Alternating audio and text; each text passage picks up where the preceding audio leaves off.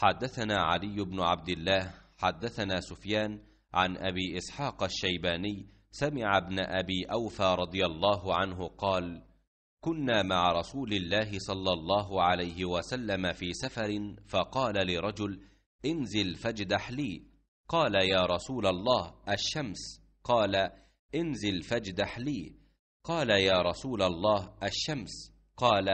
انزل فاجدح لي فنزل فجدح له فشرب ثم رمى بيده ها هنا ثم قال